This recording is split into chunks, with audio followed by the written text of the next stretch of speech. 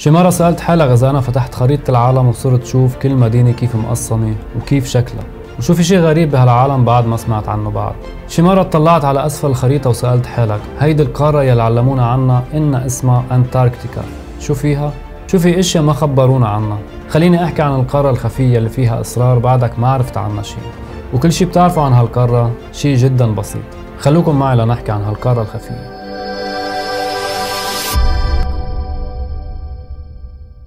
من بعد ما صار العالم قرية صغيرة بسبب الإنترنت بسر هيدي القارة رجعت هالقرية توسعت لصارت عالم بحجمها الطبيعي.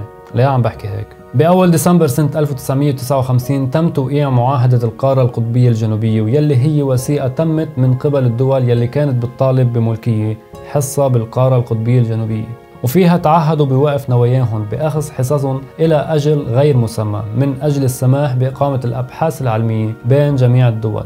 لحين تدعو المعاهدة إلى إجراء البحوث العلمية على هيدي القارة. وكمان بتحرم المعاهدة أي محاولات لاستخراج المعادن من القارة لمدة 50 سنة على الأقل للدول 12 من هيدي المعاهدة كانت بداية التساؤلات. شو يلي دفع 12 دولة عظمى للتسابق من أجل اقتسام مناطق عسكرية بهيدا المكان يلي وصفوه بالأرض المتجمدة الجرداء؟ وشو هي المعادن الممنوع استخراجها بأول 50 سنة وصارت مسموحة هلأ؟ وشو هو سر البحوث العلمية يلي عم تصير على هيدي الأرض من أكثر من نص قرن؟ وشو قصة الأدميرال ريتشارد؟ ما كانت سنة 1959 بداية القصة بل كانت نهايتها.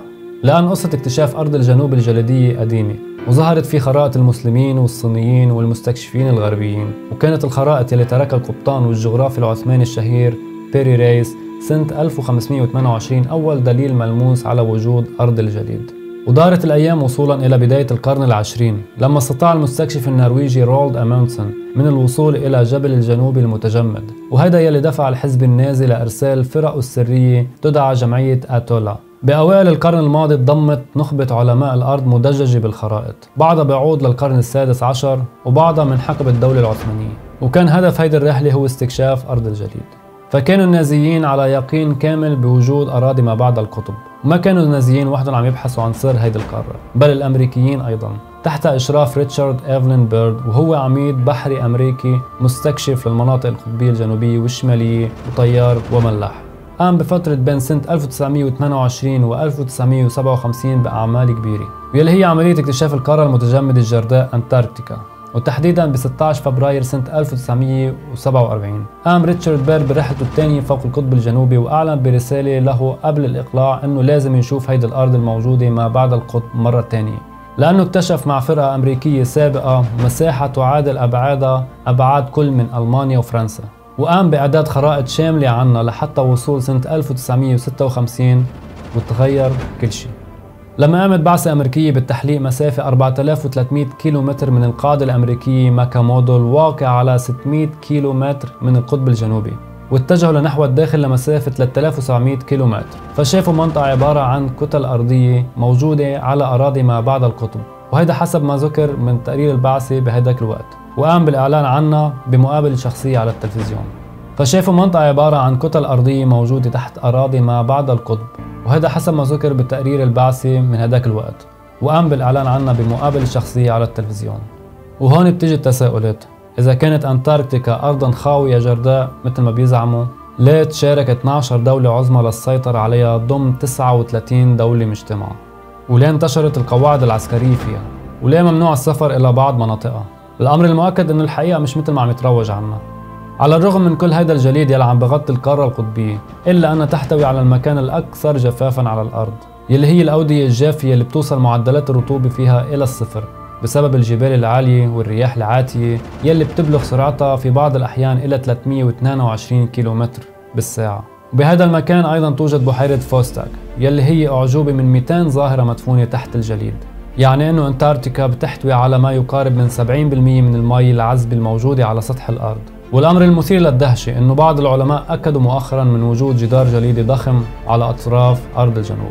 يطلق عليه اسم الجبال العابرة وهي واحدة من أطول سلاسل جبال العالم. بتشكل فاصل بين شرقي وغربي القارة القطبية الجنوبية. يبلغ عرضها بين 100 ل 300 كيلومتر بينما يصل إلى أعلى ارتفاع ما يقارب 4500 متر فوق سطح البحر. معظم هيدي الجبال مدفونة تحت أكوام الثلوج بينما تظهر منها القمم.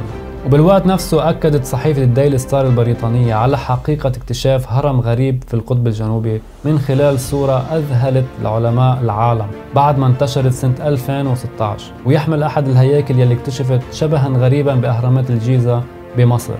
وفي سياق متصل كشفت الدراسة الحديثة نشرت في مجلة Science Advances وجود تجويف ضخم تعادل مساحته ثلثي مساحة جزيرة منهاتن بالولايات المتحدة الأمريكية. وهيدا بقاع نهر جليدي غرب القارة القطبية الجنوبية أنتاركتيكا. فهيدي القارة فريدة من نوعها من جميع النواحي. بما فيها المخلوقات العجيبة فعثروا العلماء على مخلوق غير مألوف ما بيشبه أي كائن آخر معروف للبشر. يلي ما زال حتى اليوم عم يحاولوا تحديد أصله ونظامه الغذائي وتصنيفه من بين الكائنات الحية. وتم الاعتراف بهذا المخلوق بعد ما تم تسريب الخبر عن طريق أحد علماء الأحياء الموجود بالقارة.